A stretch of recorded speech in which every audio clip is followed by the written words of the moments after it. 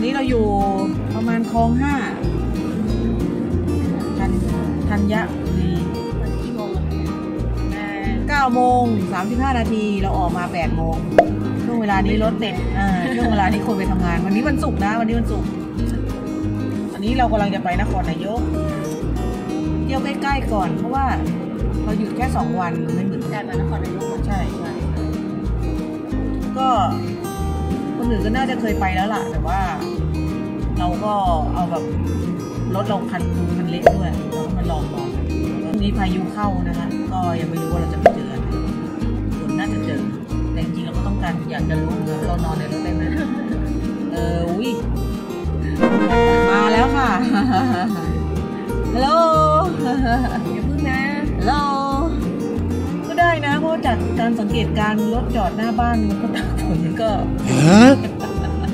หาวันหยุดไม่ได้แล้วอะเนาะโรคระบาดกลับมาแล้วไม่กลับมาหรอกมันไม่ได้ไปไหนเนาะไม่ได้ไปไหนเนาะเออมันไม่ได้ไปไหนมันใช่อยู่กับเราตลอดอะเชื้อโรคตอนนี้รบตอนนี้วะฉีดวัคซีนกี่เข็มแล้วคะคุณน่ะเอ่อสี่เข็มสี่เข็มสี่ค่ะเราแต่เนี่ยห้าเข็ม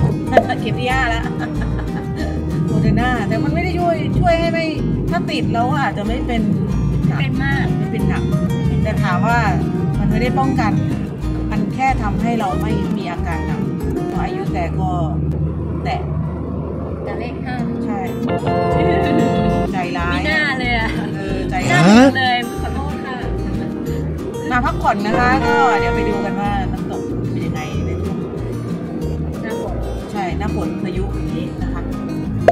ก็มีข่าวเตือนมาวันสองวันนี้ก็คือ เขาใหญ่มีปล่อยน้ำหลากมาก็คือทำให้เอ่อวังตะไคร้นะคะวังตะไคร้ต้องประกาศปิดนะคะวังตะไคร้คือน้ำตกนะคะ แต่ที่เราไปนี่ก็จะเป็นฝายนะคะแต่ก็ไม่เคยไปเหมือนกันว่ามันจะมีลักษณะยังไง เดี๋ยวไปดูก่อน ถ้าเกิดวันนี้มันมีเหตุการณ์ที่เราไม่สามารถเข้าพื้นที่ได้หรืออะไรแต่เช็คแล้วเจ้าของพื้นที่เขาบอกว่ามาได้ครับไม่น้ำไม่ท่วมนะก็เดี๋ยวเราไปดูก่อน กันไปกัน let's go เดพี่เด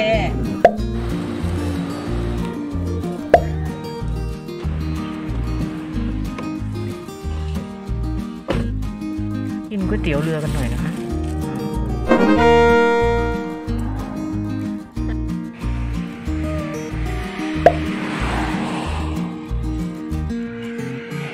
อันนี้เนื้อ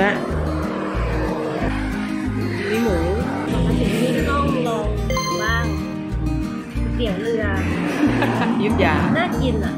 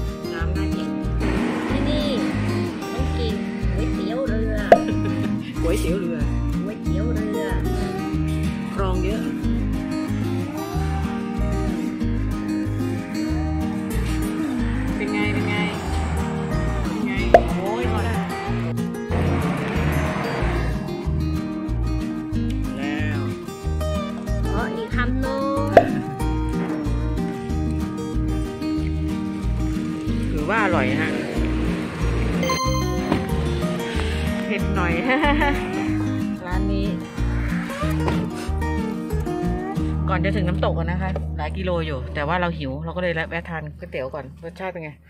อร่อยอนะร่อยค่ะ อร่อย อร่อยอร่อยอร่อยปกติจะกินไม่ค่อยหมดอะ แต่วันนี้อร่อยอะเอออร่อยอะอร่อยเลยอร่อยมากเออ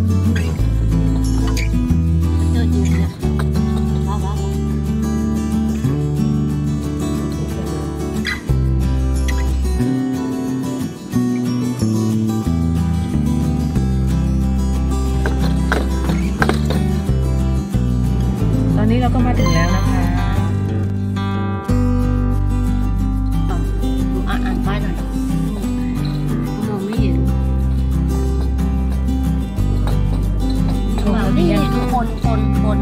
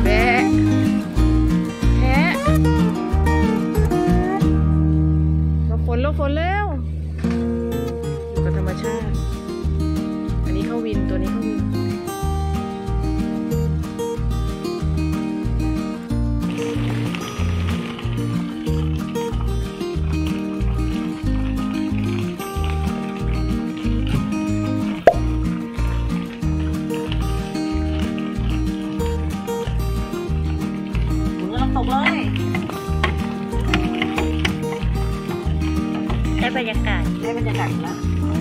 ชอบชอบจะเป็นไข้กันหรือเปล่าเนี่ยจะเป็นไข้ดีกว่า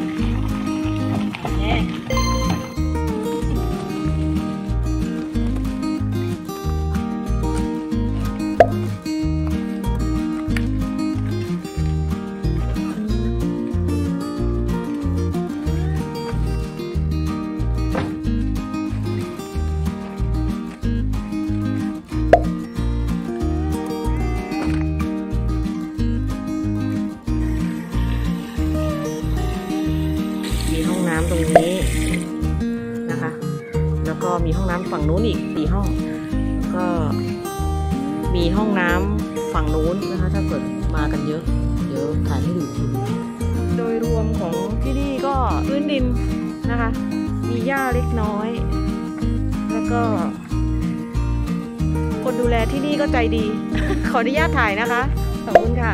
ตรงนั้นจะเป็นห้องน้ำ ห้องน้ำอาบน้ำใช่ไหมคะ เป็นส้วมด้วยไหมคะ เป็นส้วมด้วยอาบน้ำด้วย เยอะนะคะเนี่ยห้องน้ำที่นี่โอเคเลย โอเคแล้วค่ะมีชักโครกด้วยค่ะ ดีมากสำหรับคนที่ขาอ่อนแรง แล้วก็ที่นี่เขาจะไม่ให้ใช้เสียงหลังสี่ทุ่มนะคะ โอเคค่ะตอนวันที่เรามานี่คือพายุเข้าแล้วก็มีฝนตกนะคะแล้วก็มีการมีข่าวออกมามากมายก็คือ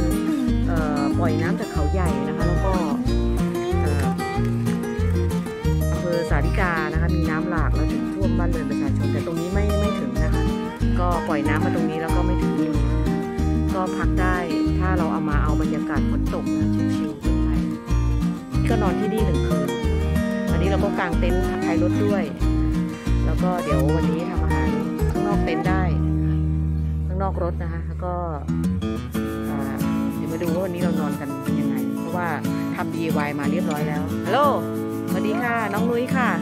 น้องนุ้ยค่ะ น้องนุ้ยสวัสดีค่ะนุ้ยสวัสดีค่ะอ่าทำอะไรอยู่ทำอะไรอยู่กลางมุ้ง วันนี้เราซื้อถอยมุ้งมาใหม่อีกสองอันถอยมุ้งแบบสำหรับรถบรรทุกอะตัวใหญ่มาก ก็โอเคดีค่ะ นอนสบายนี่เริ่มเย็นแล้วเดี๋ยวเราไปดูบรรยากาศมีศาลาด้วย ดีค่ะ ค่าเข้าคนละร้อยห้าสิบบาทนะคะสองคนเมื่อคืนนี้ก็นอนสามร้อยนะคะ อันนี้เรากางเต็นท์อย่างที่บอกผ้าใบสีฟ้าง่าย ๆ เลยผูกกับแหลกแหลกหลังคาที่เราทำมา แล้วก็ใช้วิธีการแบบลูกเสือ แล้วก็ข้างในเต็นท์เราก็จะนี้เราทำอาหารแบบนี้ เน้นเครื่องดื่ม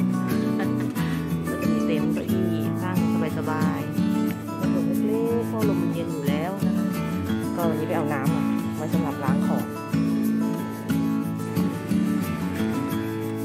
ตอนนี้ก็เป็นเวลาเย็นแล้วนะคะ ก็ยังไม่ได้ดูหรอกว่าเวลาเท่าไหร่ เดี๋ยวเราจะเดินขึ้นมาดูศาลานะ อันนี้เขาเหมือนกับจะให้บริการนักท่องเที่ยวที่อยากจะมาแบบเล่นน้ำในวันที่น้ำไม่หลากขนาดนี้นะคะ อันนี้ก็แค่หย่อนยอนๆได้แต่อันตรายนะคะ ดูความเหมาะสมนะคะ อันนี้เป็นฝายค่ะากาศก็จะเหมือนน้ำตกหน่อย แต่ก็จะไม่ใช่น้ำตกตรงข้างบนตามลำน้ำใหญ่ ๆ นะคะ อันนี้ก็จะมีศาลา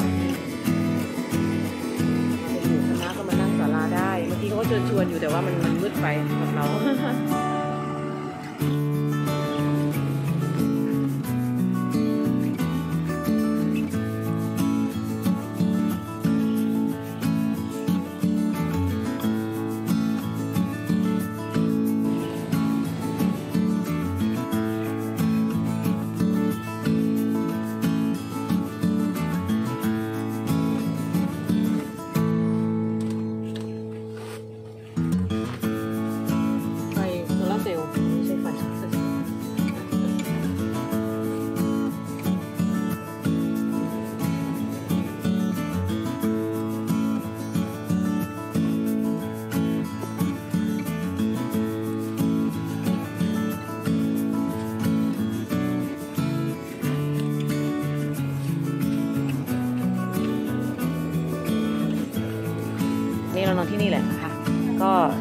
เต็นท์ก็จะเป็นแบบนี้ค่ะ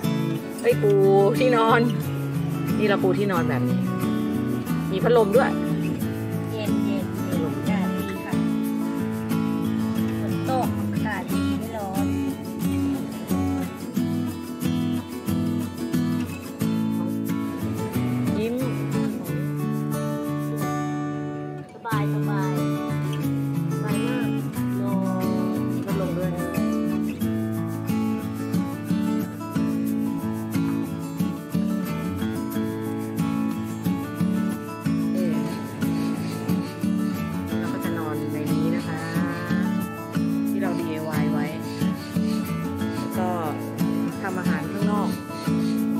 เขาอนุญาตให้ทำอาหารนอกตรงสนามตรงนี้ได้ทำปิ้งย่างได้ นี่เรามีกล่องพลังงานดวงไฟนี่ใช้กับพลังงานโซลาร์เซลล์นะ เปิดเปิดผ้าให้เขาดูหน่อยเร็วเนี่ยค่ะเราใช้เนี่ยค่ะเราใช้ดูกล่องที่ DIY ไปดวงไฟ ตอนนี้ชาร์จด้วยค่ะ ชาร์จไฟอยู่โซลาร์เซลล์ ก็แสงแสงไม่มีแต่ก็ชาร์จได้ ก็ใช้แค่ไฟกับพัดลมนะคะ แต่ที่นี่เขามีไฟให้นะคะ แต่เราก็ไม่ได้ใช้อะไรมากมาย เพราะเราใช้แก๊สในการทำอาหารอยู่แล้วนะคะนี่เราก็ใช้แค่ไฟจากโซลาร์เซลล์เพราะเราเตรียมไฟโซลาร์เซลล์แล้วก็ไฟชาร์จมา อันนี้เป็นไฟไฟจากโซลาร์เซลล์ต้องปิดสวิตช์โอเคนะเปิดค่ะโอเคค่ะนี่ค่ะไฟ DC 12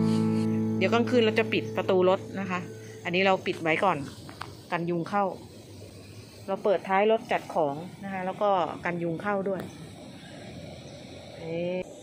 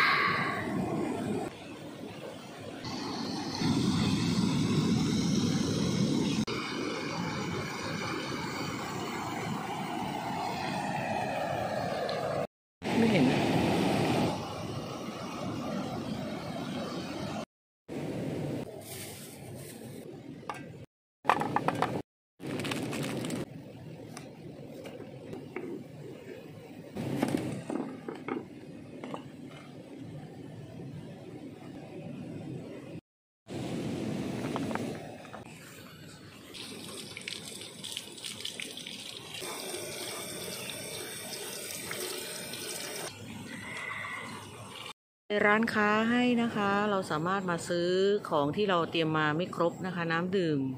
เครื่องดื่มต่างๆนะคะ ของ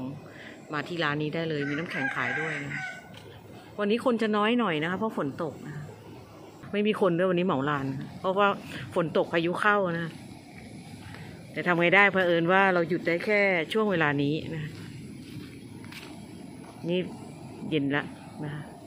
บรรยากาศก็จะประมาณนี้ นี่มีที่เด็กเล่นด้วย สะอาดสะอ้านค่ะ ปลั๊กไฟตามจุดเนี่ย เยอะแยะไปหมด สามารถมากางเต็นท์ได้นะ ค่าเข้าคนละหนึ่งร้อยห้าสิบบาทค่ะ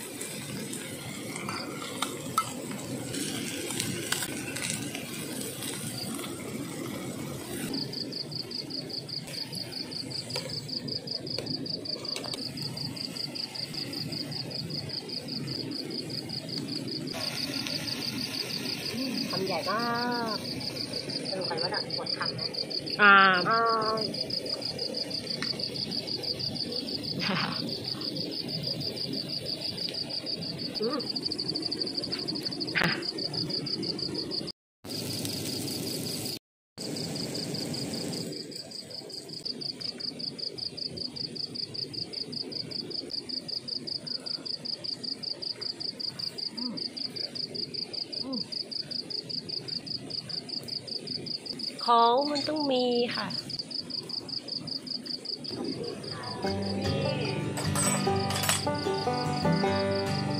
บาย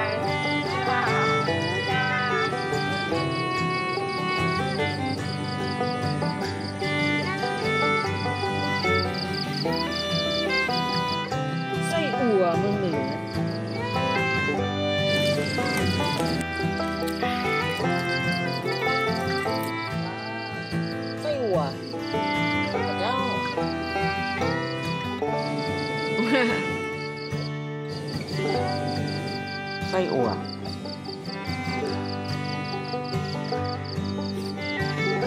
หอมมาก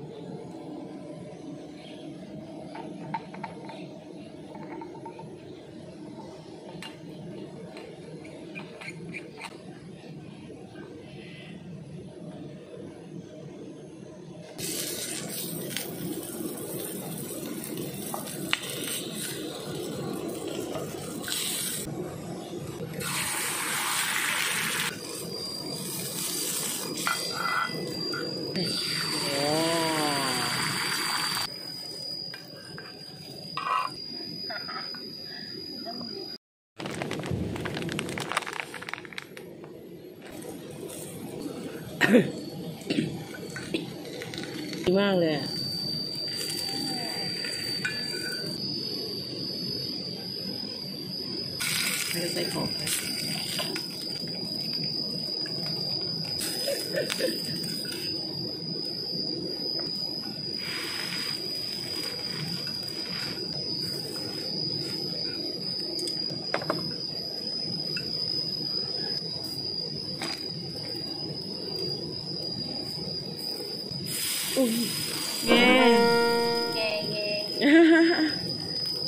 งฉุบเลยชิ้นนี้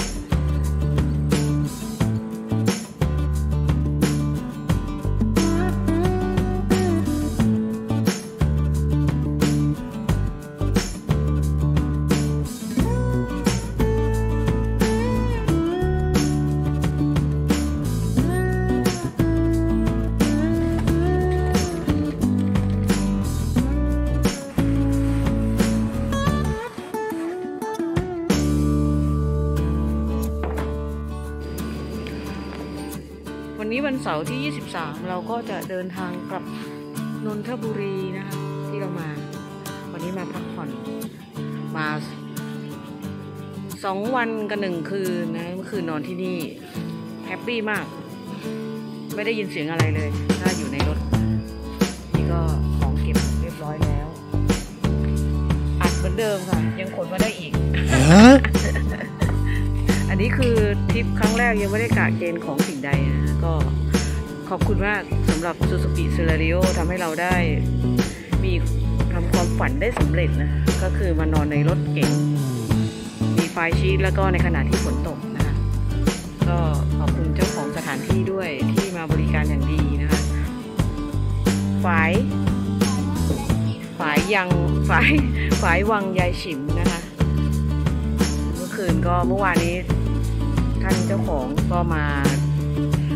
ยกันแล้วก็มาขอชมรถด้วยนะบอกว่าเออนอนได้แฮะก็ขอบพระคุณมากนะคะ ก็ค่ะนอนสบายมากไม่ได้ยินเสียงอะไรเลย